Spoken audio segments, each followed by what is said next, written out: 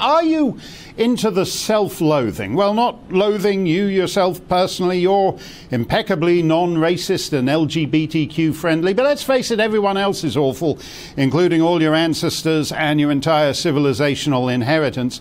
Well, if you dig the societal self loathing, and who doesn't, the National Gallery is the place for you. They're currently working with the University College London Legacies of British Slave Ownership project to figure out who among their artists and subjects and donors are, quote, related to slavery. And they've just added some pretty big names to the list, including Her Late Majesty Queen Victoria, Gainsborough, and Wordsworth. Wordsworth, you may vaguely remember as the once widely read poet who, quote, wandered lonely as a cloud. Well, he's not lonely now because he's joined the massed ranks of British slavers, a vast digital cloud comprising more or less every historical figure you've ever heard of until the day before yesterday. Wordsworth is in what the Telegraph calls, quote, the Hall of Shame because get this.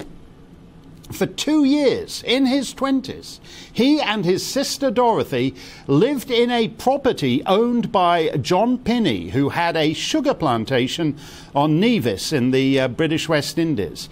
Uh, are you one of the uh, many contemporary poets who likes to unwind after a hard day wrestling with the spondees and dactyls by watching Nigel Farage of an evening? Are you entirely sure, therefore, that your landlord isn't possibly a transphobe? Did you make the mistake of using a flat hunting agency and unbeknownst to you, your bedsit is owned by an Islamophobic TERF? Good luck explaining that to posterity. Wordsworth wrote a sonnet hymning the victory of the great abolitionist Thomas Clarkson, and a fat lot of good it's done him. What's up with Gainsborough?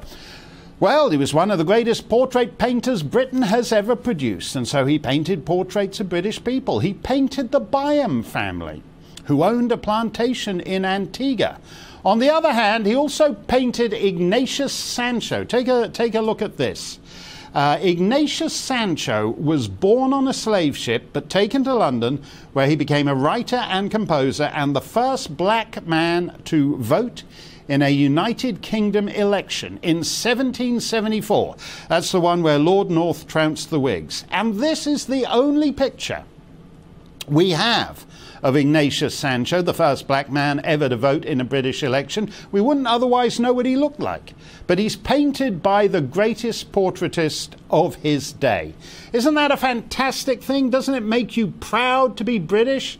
Ah, nuts to that, and to hell with Gainsborough. Let's shove him in the hall of shame with everyone else. Cromwell instructed his own portraitist to paint him warts and all. Today we paint only the warts.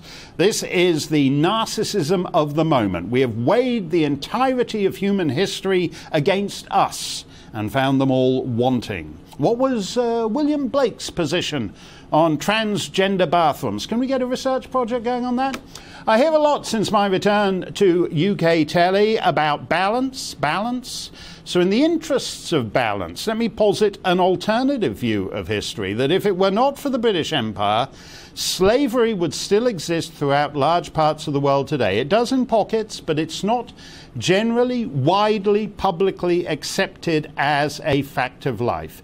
And no institution did more to abolish slavery than the Royal Navy. God bless them, every one of them.